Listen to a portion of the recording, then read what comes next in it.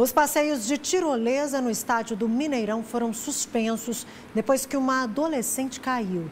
O vídeo do acidente foi divulgado hoje pelo pai da menina. A Nesh Castro tem as informações para a gente. Nesh, como ela está, ela se machucou, o que o pai disse sobre o acidente também o estádio. Conta para gente. Ela teve escoriações no tórax, perna, braço e abdômen, Carol. Foi levada para o Hospital João 23, atendida e logo em seguida liberada. Pelas redes sociais, o pai dela, o comentarista Ale Oliveira, da adolescente de 14 anos, comentou que ficou muito chateado com a situação, mas comemorou o fato dela não ter tido nada grave.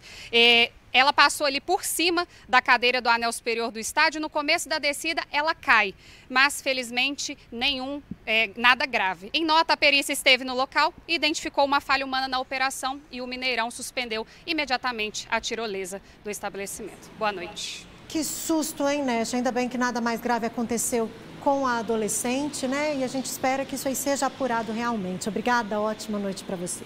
Vamos conferir a